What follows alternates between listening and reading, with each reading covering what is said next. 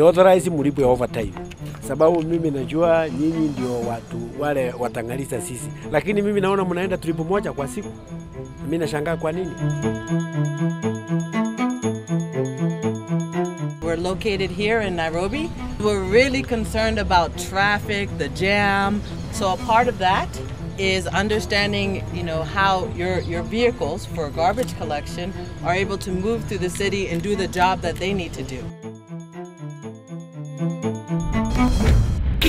This is where we keep our equipment. We come, we park here in the evening, and then we start work here in the, in the morning.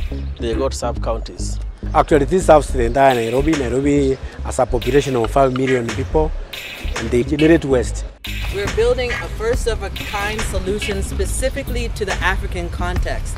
We can fix it together because we are here on the ground working.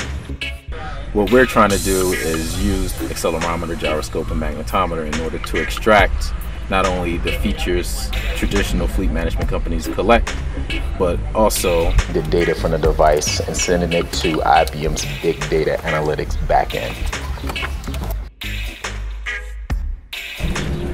so you can see that it's a rigid mount. So anything that happens to the vehicle happens to this device and we capture it.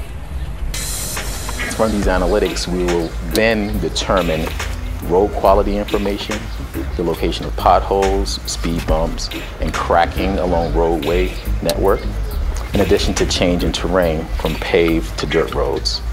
Together, this information can be used to then extract real-time traffic conditions.